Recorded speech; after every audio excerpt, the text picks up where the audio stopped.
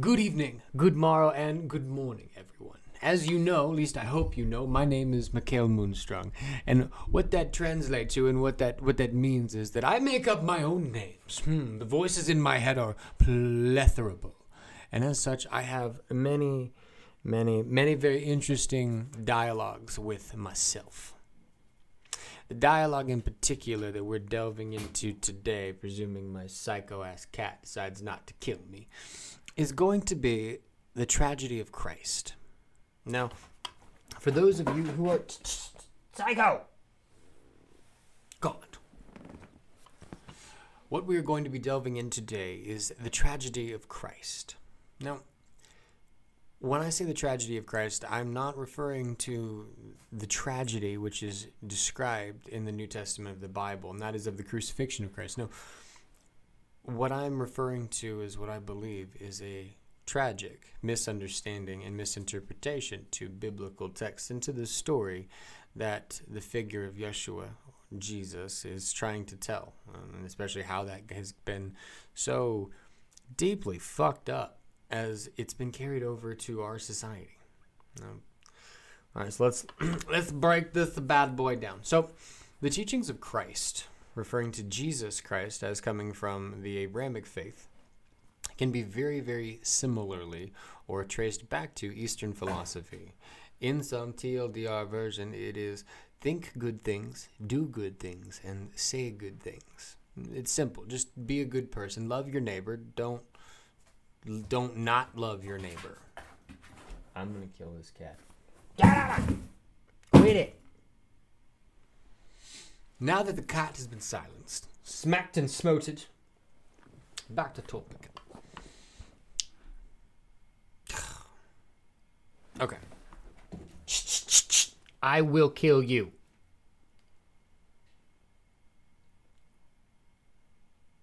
I'm not saying no, I won't kill her. I'm shaking my head in disapproval in case there was a question there.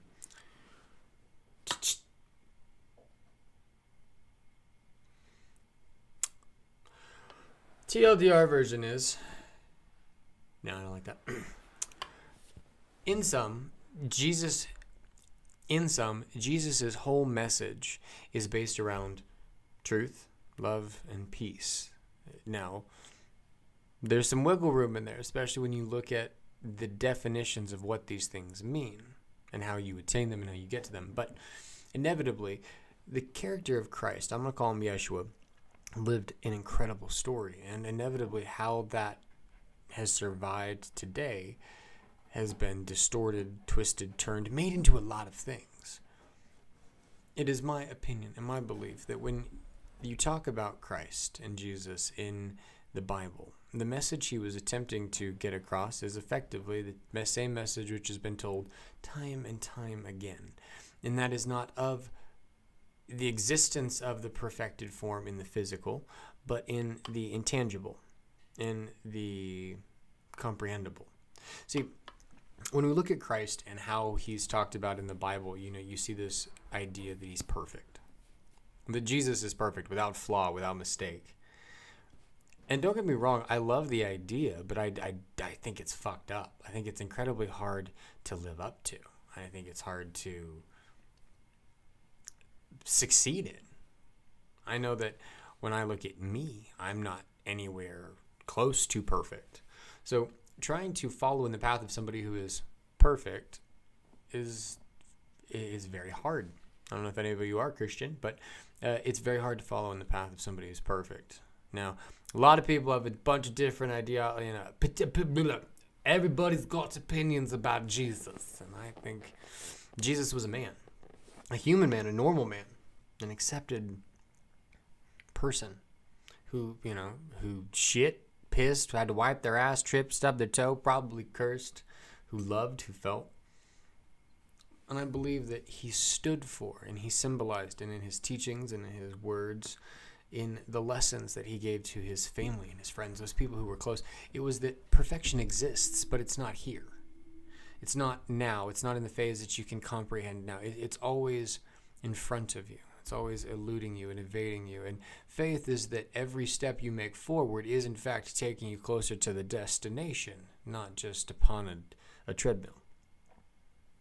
So when I say the tragedy of Christ, what I'm referring to is how so many people today believe in Christ as this perfect thing, this perfect person, and that the life he lived was so separated from humanity. And I'm not saying it wasn't. I don't know. I wasn't fucking there. But I know that he's a metaphorical and an allegorical character, that his life has become the subject of much fantasy and much fiction. And I know many of you are like, but it's written that there was an account of him in Roman. No, I believe it. There was. I'm not saying that this person wasn't there, that they weren't that. I'm saying that everything that they were made into, maybe that's where some of the story, the parable, the magic is existing versus the actuality. You know, I could look at an example would be the virgin birth. I do not believe, and I think it's erroneous to believe that the virgin birth existed or was created by non-natural means. In other words, that that that, that you could that, that you had a virgin birth at all. Mary got fucked babies. She did. No, I'm not saying that she wasn't invested and possessed with a spirit that allowed her to to consciously create and wield energies of creation to to create Jesus, to create this figure, this Messiah. But to say that she begot that life without the same natural forms that the very same creator as dictated in this book is said to have made, I don't think that follows our logic. I don't think that follows in suit very well. Ugh. I'm not saying you can't do it. I'm not saying it's a bad belief to have. I'm saying that if you continue in your thought process, you continue in your study of science and education and evolution, and as well in theology, in study of scripture, study of varying systems of esoteric thought and metaphysical approach, you will find many things. And usually at the base of them, there is this running natural law which gets interpreted as God. And in that space, all things exist. This intelligent design, this intelligent force. Some people see it as that really all benevolent force in the cloud, others as the chaotic, goetic being and deity, which sticks together their very reality. And, you know, again, to each their own. The tragedy comes when you perceive and you believe in the end of the story before you've read to you've read all of the chapters which led to that point. I'm gonna get her. Quit it. Got her on the retreat now. Psycho. When you read the story of Christ, there's a huge part of it. You're like you, you read about his birth, the beginning, and the end. And don't get me wrong, I'm not saying you can't do that. It's a great way to figure out like the beginning and the end. But you miss such subtle and crucial context to understand how we got to this point. When you look at the middle, that's the life. That is the life whereby all of the evolution occurs. And you don't see that. It's not written about Christ. It's interpreted, it's assumed, it's left to be filled. And in these spaces, the tragedy of Christ occurs. His message gets lost because people look at the beginning and the end and they don't use common sense to, to figure out what happened in the middle. The tragedy of Christ is he said that this isn't the end. It, in fact, it will continue and go on and on and on again. And in fact, the basis of loving and caring for your neighbor and the people around you emanates from this fact that it will all go on and on and on and that every day an opportunity you have to be good, to be better, to embrace the loving world lovingly, you have the opportunity to resist that desire to be counter. You know, the, you know, the desire to be evil, the desire to do terrible things. You can resist and overcome these things by clinging, knowing, and existing in a place of love, in a place of present attention, attention to now. But you don't get to do that by living for a bunch of things that don't matter. When Christ talks about how you live and why you live and you know what's important to hold on to, it's it's about it's about creating meaning. And inevitably when we build further into this idea of the tragedy of Christ, what I'm talking about is how he said, you know, this idea that Christ conquered death, and that now that He's done it, we don't have to do it. That He was perfect, and so we just put all the shit on His shoulders, and that's really fucked up. Very lazy of us as it goes. You can't put that onto any deity, onto any being. Change has to occur because you want it to, because it's existing and emanating right here.